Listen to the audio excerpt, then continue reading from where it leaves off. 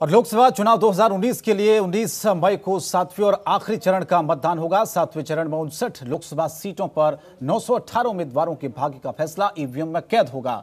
आखिरी चरण में प्रधानमंत्री की वाराणसी सीट पर भी वोट डाले जाएँगे। तो कौन कौन से दिग्गजों के भाग का फैसला करेगा इस सातवां चरण? देखिए इस report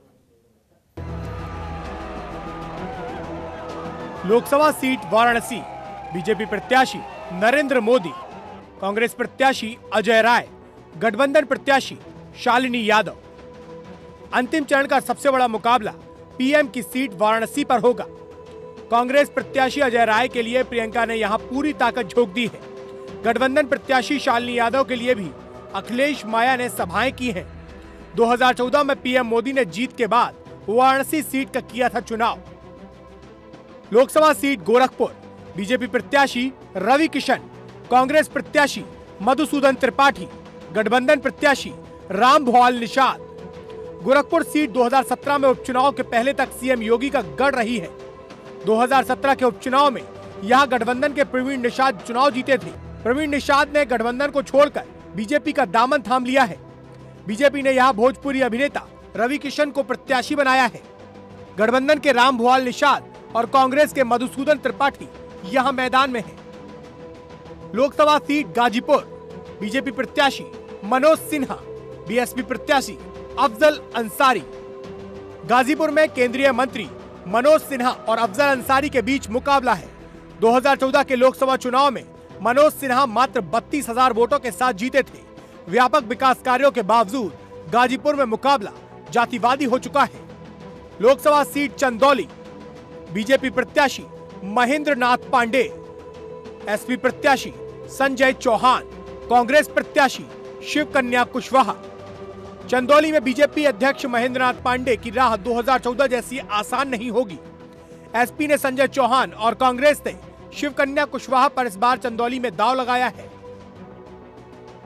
लोकसभा सीट मिर्जापुर, अपना दल की अनुप्रिया पटेल, एसपी प्रत्याशी रामचरित निषाद, कांग्रेस प्रत्याशी ललितेश त्रिपाठी केंद्रीय मंत्री अनुप्रिया पटेल इस बार मिर्जापुर में त्रिकोणीय मुकाबले में फंसी हैं।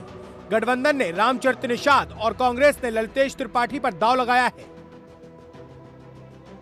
लोकसभा सीट पटना साहिब, बीजेपी प्रत्याशी रविशंकर प्रसाद, कांग्रेस प्रत्याशी शत्रुघ्न सिन्हा बिहार की पटना साहिब सीट पर इस बार मुकाबला बेहद रोमांचक होगा बीजेपी से सांसद रहे शत्रुघ्न सिन्हा इस बार कांग्रेस के टिकट पर मैदान में हैं। बीजेपी ने सीट पर कानून मंत्री रविशंकर प्रसाद को मैदान में उतारा है। शत्रुघ्न सिन्हा बीजेपी के टिकट पर दो बार पटना साहिब से सांसद रह चुके हैं। लोकसभा सीट बक्सर, बीजेपी प्रत्याशी अश्विनी चौबे, आरजेडी प्रत्याशी जगदानंद सिंह।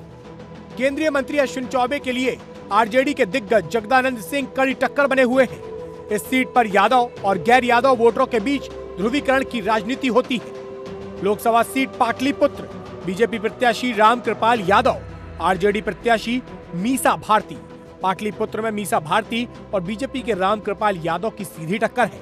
2014 के चुनाव में राम कृपाल यादव ने मीसा को चालीस हज़ार वोटों से हराया था। लोकसभा सीट सासाराम, बीजेपी प्रत्याशी छेदी पासवान, कांग्रेस प्रत्याशी मीरा कुमार। सासाराम में कांग्रेस की मीरा कुमार और बीजेपी के छेदी पासवान आमने सामने हैं। 2014 के चुनाव में यहाँ छेदी पासवान ने मीरा कुमार को चुनाव में शिकस्त दी थी। Bureau report, Jantantra TV.